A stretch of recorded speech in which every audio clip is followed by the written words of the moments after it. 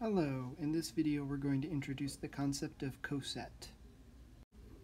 So you start with a group G and a subgroup H. And so given an element in the larger group G, the coset generated by that element is this set, G times a capital H. This is called the coset generated by G, and the, it is a set and the elements of this set consists of products, little g times little h, where h is an element in the subgroup. So let's go with an example you might be familiar with from linear algebra. Let's take G to be the vector space R squared. H is the set of ordered pairs x, y such that x plus y equals 0. So this is a linear subspace coming from the equation y equals negative x.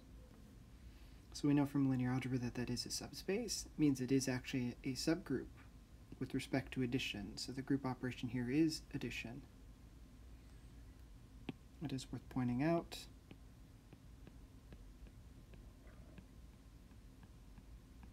that it's good old-fashioned vector addition.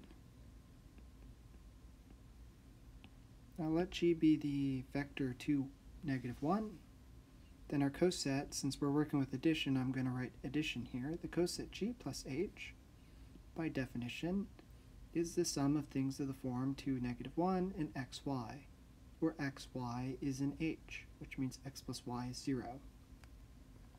So in other words, it's all expressions of the form x plus 2, y minus 1, where x plus y is 0. Of course, if you decide to do a substitution, say let a equal x plus 2 and b equal y minus 1, then of course you can see that a plus b is equal to x plus 2 plus y minus 1. x plus y is 0. So you get 2 minus 1 is 1. So you can prove that this set is actually the set of all ordered pairs where a plus b equals 1. So in fact, actually you have seen cosets before in linear algebra. Uh, when you're talking about r to the n, and you're talking about a matrix equation ax equals 0,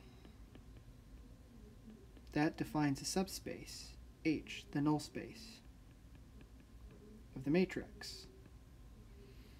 But you also talk about ax equals b, and in general that defines a coset usually of some form v plus h, where v is some vector that has the property that a times v equals b. In linear algebra, they call that the particular solution. And so the whole concept of coset is just generalizing this concept of particular solution to arbitrary groups. So as a first example, let G be the symmetric group on four numbers, the first four positive integers, and let H be this subgroup. Yeah, you do have to prove that this is in fact a subgroup. It turns out, well, any two of these, any of these elements is order 2, and so it is its own inverse, so you're closed under inversion. And you can check that the product of this element and this element, any two of these elements is the third. And so this actually is a group. The uh, other approach to way to check this is to take your rectangle and label it 1, 2, 3, 4, and you can check that the symmetries of the rectangle are exactly these permutations. So there's a shorter proof of that. Let's look at the cosets of H. So here's an example of a coset. I'm going to multiply on the left by the transposition 1, 2. By definition, this means for every element in H, I need to look at the product G times little h. So G times the identities here, G times this permutation, G times this permutation, and G times this permutation. So this is my coset. Of course, if I leave it in this format, it's kind of poor taste because clearly more work can be done the very least, that can 1, 2 times itself is the identity. But also, you know, these are not disjoint cycles, so I should probably compute these products. Suppose I computed these products, then this is the result. This cycle turns out to be this one. Why? Because 1 goes to 3, then 3 goes to 1, which goes to 2, 2 goes to 4, and 4 must go back to 1 at that point. And a similar calculation here. So this is this coset. Similarly, I could ask what is the coset 3, 4, H? Well, it's going to have the element 3, 4. It's going to have the element 3, 4, 1, 2, 3, 4. 3, 4, 1, 3, 2, 4. And 3, 4, 1, 4, 2, 3.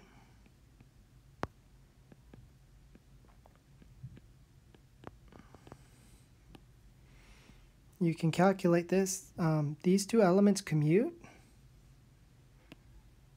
And then the 3 fours cancel. So I should get 1, 2 here. For this permutation, what happens? 1 goes to 3, which goes to 4. Oops, let me be careful there. 4 goes to 2, and 2 goes to 4, which goes to 3, so 2 goes to 3, and then 3 goes to 1. And for the other permutation, we see that 1 goes to 4, which goes to 3, so that should be 1 goes to 3. 3 goes to 2, and 2 goes to 4. So there's another example.